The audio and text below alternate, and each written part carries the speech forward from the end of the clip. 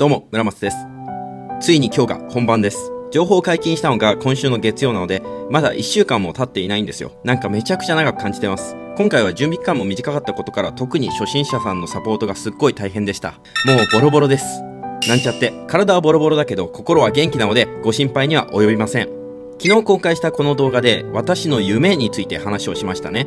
私の夢はものすごい道のりの険しいスケールの大きな夢といつでも叶えられるじゃんってすごくスケールの小さな夢もありました。でも私にはそんなスケールの小さな旅行にすらまともに行く時間がないんです。20歳で人生を投資に捧げる覚悟を決めてから今日まで走り抜けてきていくらまで稼ごうとか特に目標とかは決めていないし人生を捧げる覚悟は変わらないからこの先もきっとやめることはないでしょう。家も何軒か買えたし車は私は乗らないので父親と姉に買いましたし時計は手首締め付けるの嫌いなので買わないですけど時間はいつまで経っても買えない。でもいつかはその時間が買える日が来るといいなくらいに思ってます。だからアイデオの紹介は今年で最後にします。今年も残り数ヶ月しかないので12回くらい紹介できたらしますがもしかしたら今回が最後のアイデオ紹介になるかもしれません。来年はもうやりません。仕込むなら今年が最後と決めているからです。今日の IDO は参加しないという方も中にはいますがその選択に後で後悔だけはしないようにしてください。私は投資を始めてから今まで毎日ストイックに生きてきました。今日が人生最後の日になると思って勉強してきました。でももっと家族のためとか恋人のために時間を使ってあげてもよかったのかな。自分の人生を否定したくなる時もあります。今回は開始までの準備期間は短かったですが毎日動画を撮りました。マニュアルもたくさん作りました。全て全力でやったので心残りはありません。でも結果が全てです。今日の19時で第1ラウンドで村松チームが負ければ努力は全て水の泡です。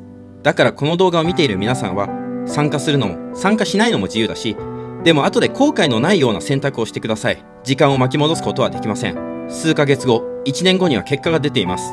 あの時参加すればよかった。村松さんの話をもっと聞いておけばよかった。あの時の自分をぶん殴ってでも目を覚まさせてやりたい。後でこう思わないようにしてくださいね。来年もアイディオ紹介を続けてください。やってくださいって。めちゃくちゃ LINE で言われるけど今年で最後って決めたからそれはもう曲げられません。村松の頑固野郎って性格はもう気づいてますよね。そしてバカ真面目です。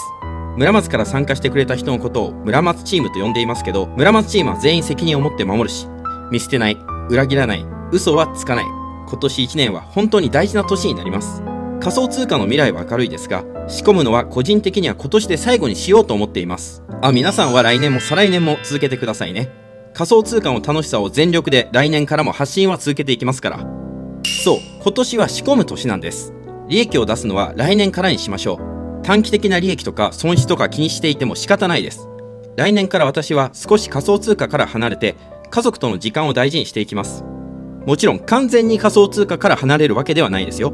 ただ今くらいの規模で続けていても死んだ時にたくさんお金があっても家族との時間は戻ってこないし取り戻せませんからね。今はなんとなく生きているし将来のことなんて考えたくもないしどうせどうにかなっているだろうと甘く見積もった人生を歩んでいたら後で人生を振り返った時のダメージは大きいです。ただ別に未来に対して過剰な不安を持てという話ではありません。投資家というのは未来に種をまくお仕事です。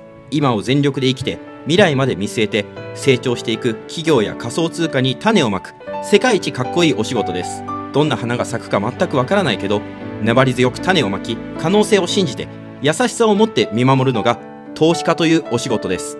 そして未来まいた種が虹色の花畑に咲き誇るのを信じて一粒ずつ種をまいていく。